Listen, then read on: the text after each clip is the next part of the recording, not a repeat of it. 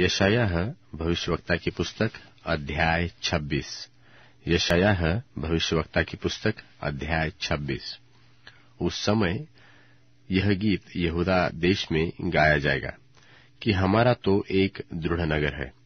उसकी शहर पनाह और गढ़ का काम देने के लिए वह उद्धार को नियुक्त करता है। फाटकों को खोलो कि सच्चाई का पालन करने वाली एक धर्मी जाति प्रवेश करे।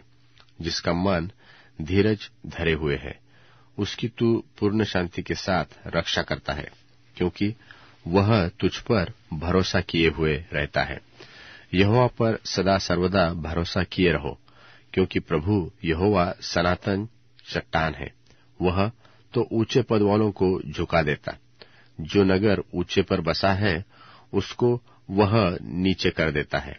वह उसको भूमि पर गिराकर मिट्टी में मिला देता है। वह दीनों के पाँव और दरिद्रों के पैरों से रौंदा जाएगा। धर्मी का मार्ग सच्चाई है। तू जो आप सच्चाई है, तू धर्मी की अगुवाई करता है। हे यहोवा, सचमुच हम लोग तेरे न्याय के कामों की बाट जोहते आए हैं। तेरे नाम और तेरे स्मरण की हमारे प्राणों में लालसा बनी रहती है। रात के समय मैंने अपने जी से तेरी लालसा की है। मैं अपने संपूर्ण मन से यत्न के साथ तुझे ढूंढता हूँ, क्योंकि जब तेरे न्याय के काम पृथ्वी पर प्रकट होते हैं, तब जगत के रहने वाले धर्म को सीखते हैं। दुष्ट पर चाहे दया भी की जाए तो भी वह धर्म को न सीखेगा। धर्म राज्य में भी वह कुटिलता करेगा, और यहोवा का महात्म्य उसे सूझ न पड़ेगा। हे यहोवा मेरा हाथ बढ़ाया हुआ तो है, पर वे देख नहीं सकते। परंतु वे जानेंगे कि तुझे प्रजा के लिए कैसी जलन है और जलाएँगे, और तेरी बैरी आग से भस्म होंगे। हे यहोवा, तू हमारे लिए शांति ठहरेगा। जो कुछ हमने किया है, उसे तू ही ने हमारे लिए किया है। हे हमारे परमेश्वर, यहोवा, तुझे छोड़ और और स्वामी, हम पर प्रभुता करते तो थे, परंतु तेरी कृपा से हम केवल तेरे ही नाम का गुणवादन करते, करेंगे। वे मर गए हैं, फिर कभी जीवित नहीं होंगे। उनको मरे हुए बहुत दिन हुए, फिर वे नहीं उठेंगे। तूने उनका विचार करके उनको ऐसा नाश किया कि वे फिर स्मरण में न आएँगे। तूने जाति को बढ़ाया, हे यहोवा, तूने जाति को बढ़ाया है।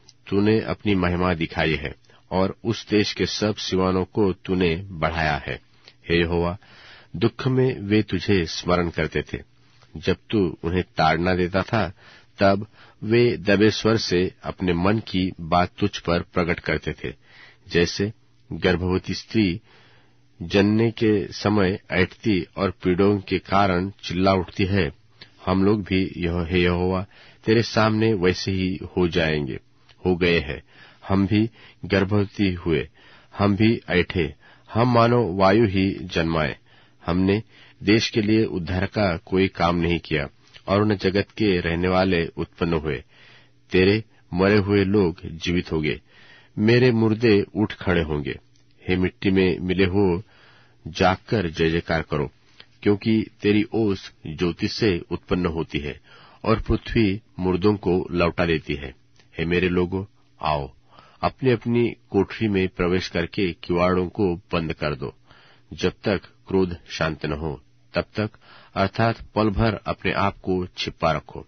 क्योंकि देखो, यहोवा पृथ्वी के निवासियों को अधर्म का दंड देने के लिए अपने स्थान से चला आता है और पृथ्वी अपना खून प्रकट करेगी और घात किए हुओं को फिर न छिपा रखेंगी।